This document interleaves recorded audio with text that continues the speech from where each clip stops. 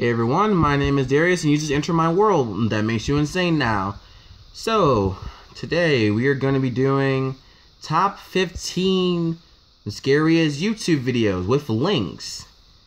And since this video is uh 27 minutes long, we're going to be splitting this into a couple parts. So, let's not waste any time. This seems like some really like some fucked up shit, but hey, YOLO, right? So let's get started. We're gonna be starting this in three, two, one.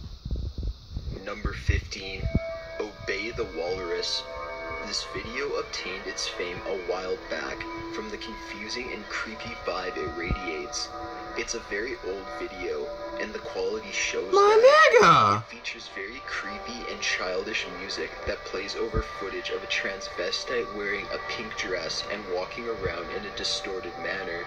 Towards the end, we get a zoom in of the person's expressionless face before we are faced with a photo of a walrus. The There you go. originally surfaced with the same title in a Spanish language. People began creating reaction videos, which usually went one of two ways. Either they laughed uncontrollably, or they were frozen with fear. The video soon came with a myth that it was created by a Latin American. Well, I'm not frozen with fear and I'm not laughing. aka the walrus, and it is said that bad things would happen after watching the video. Again, there has been I'll take my chance. into this video that found it was actually just footage used from the actor's life documentary titled The Goddess Bunny. The actor is named Johnny Baima, and he suffers from polio. He has spoken about going through a lot of sexual abuse as a child, and Okay, you can just back a off the camera now. Chances are that someone just took footage from What the fuck is that on your head? or his head? depending how you see it, and posted it for attention. As for the differing feelings that come alongside this video, it's actually very psychological.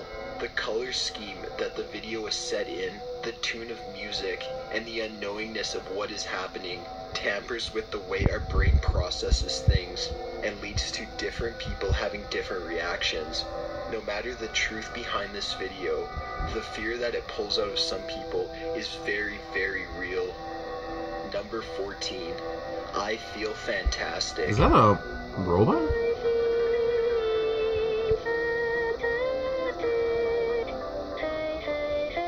Yet another viral. Someone's trying to build artificial intelligence. YouTube.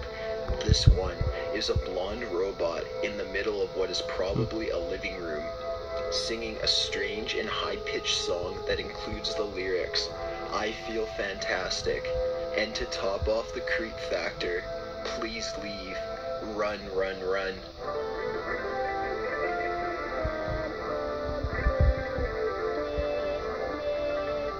The robot does change positions a few times, and towards the end, she's even in a new outfit.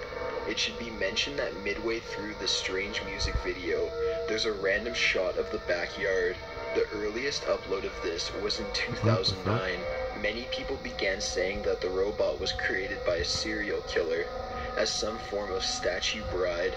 The shot to the backyard was allegedly a shot of where the killer buried his victims, and the things the robot sings are to reflect what the killer wishes his victims would have said while being murdered. This mostly came about because the description on the video tells about the story in Greek mythology of Pygmalion, a man who made a statue bride because he was so fed up with the impure women that surrounded him. However, the true story That's his fault, doesn't even know how to get bitches. A lot less creepy. Well, it's still kind of weird. This was all actually a music project done by John Bergeron. Back in 2004, he built this android which he named Tara and programmed her to sing songs that he wrote and recorded.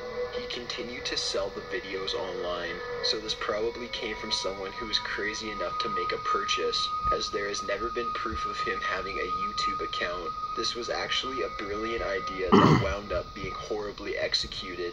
As for the strange cutscene to the backyard, it's still unexplained, but it was most likely just an attempt to add some cinematic beauty to the video.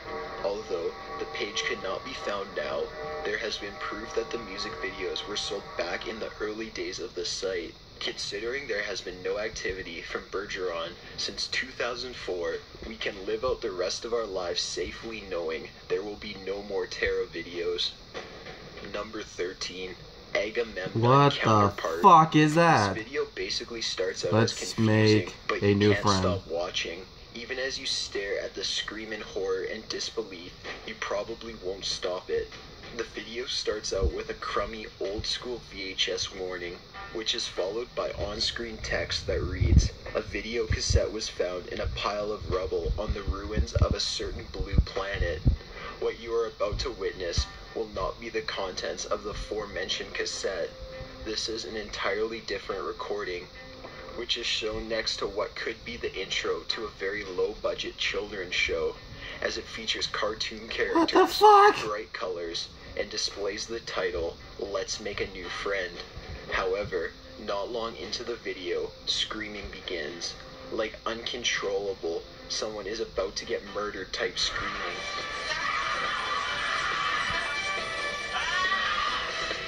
My nigga. We see a few more trippy shots with tons more screaming and overly happy background music, and the video ends. Rumors immediately began spreading that I the think video I'm on LSD. once footage from a popular Japanese rape murder case. Apparently, the cartoon footage covered up the video, but not the audio. Nigga. However, when you look at the description of the original posting, Hmm. it stated drawings by Jason Kovac, aka Dave, from 2001, D2K1. Research leads to DK21, meaning Destination Imagination 2001. From there, we can find that this video was a strange art project that got uploaded in 2006. Looking even deeper has exposed that the audio and screaming are both from vintage movies. So the rape murder theory is completely false. As for the title, or the meaning behind the video, there's not one. Jason Kovac has yet to release any information about its confusing title or complex meaning. Just take a look. Maybe you'll be able to find some deep and powerful meaning within these terrifying screams. I'm good. Number 12. Username 666. This popular video is based on an even more popular creepypasta. It's probably been seen by many. It involves a YouTube channel by the name of Username666. The person controlling Back when YouTube was good. finds that the account has been suspended. Then they go on to refresh about 50 times. Things start to become redder and redder, and The the, majority of the text becomes 666. One more refresh. What the fuck? With videos of twisting and disturbing babies, as well as a woman drowning. This video is obviously created solely for the creepypasta, and it's not real whatsoever. If you look up the channel though, it does say it has been suspended. This Nigga. implies that the channel did exist at one point. Well, it could have been a demonic account. There's no proof for that. That aside, however, the thought is still terrifying. Plus, there are several softwares and programs that can be used to replicate this effect for scaring friends, or, you know, whatever you would need that for. Take a look.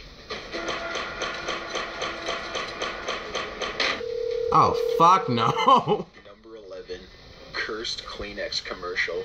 The following ad for tissues is creepier than it needs to be. As you will see, there is a small child that seems to have their body painted a dark orange. The child is sporting green hair and some sort of magical horn. Meanwhile, the woman next to the child. Okay, so- mother- Okay, so we're gonna stop right here, but we are going to continue. So I'll see you guys next time, and once you enter my world, you'll never be the same ever again. See you guys next time.